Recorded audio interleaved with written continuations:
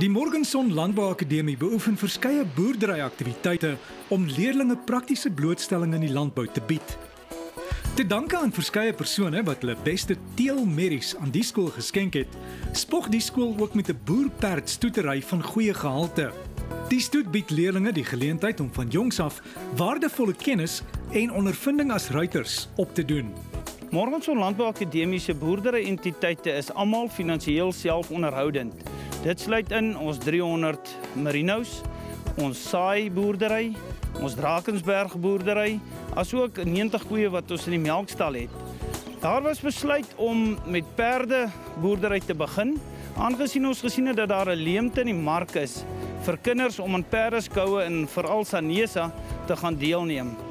Daar is heidaglik 30 perde op die plaas waarvan 'n groot persentasie in die stoet opgeneem is. Die ander boerderyvertakkings help maar met die finansiering van die perdeafdeling. Dan word van die aandeel verkoop waar die geld teruggeploeg word in die perdestoetery. Dan is daar ook 'n aktiewe ryklap by die skool waarin 'n geweldige klomp kinders deelneem. 'n Ryklap fooie betaal en dit help ook om hulle dan na skoue te vervoer en ook vir die algehele boerderybestuur van die historiese boerperdstoet.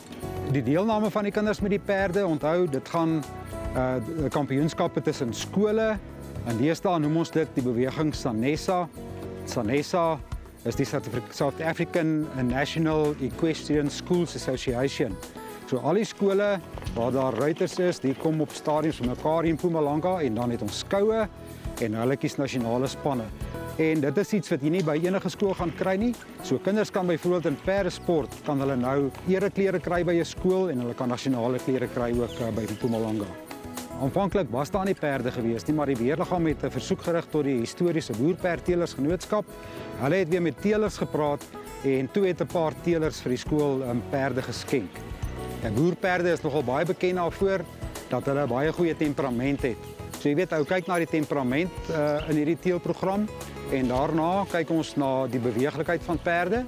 Die perde moet uh, goeie beweging hê en verder konstitusie? Nee, ons wil ons wil geharde perde hê. Perde moet gehard wees. 'n Boerperd staan nie heeltyd in die stal nie. Hy moet ook buite kan gedei en oorleef. En ehm ja, verder onthou dis 'n kinderperd. Kinders werk met die perde en dit is waar dit vandaan kom en dit is maar die goedjies waarvoor ons selekteer.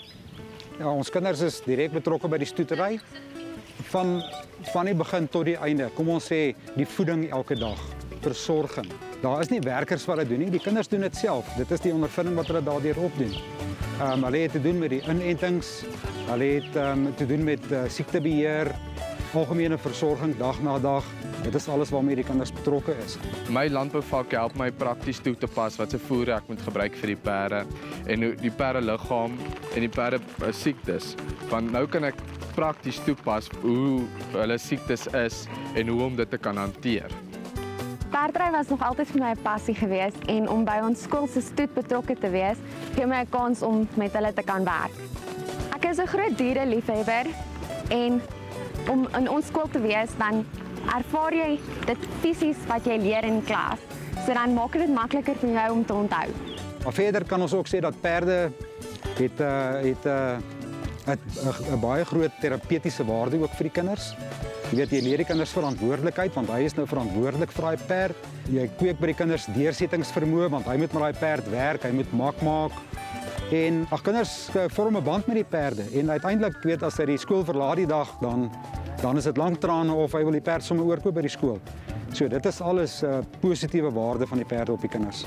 Gloorwin is die naam wat ontwikkel is vir ons stoeterye by die skool. Onthou ons het nie net 'n boerperd stoet nie, ons het ook 'n vriesstoet en 'n Drakensberger stoet en Gloorwin kom van die skool se lese af, naamlik glo en oorwin, saamgestel is net Gloorwin maak.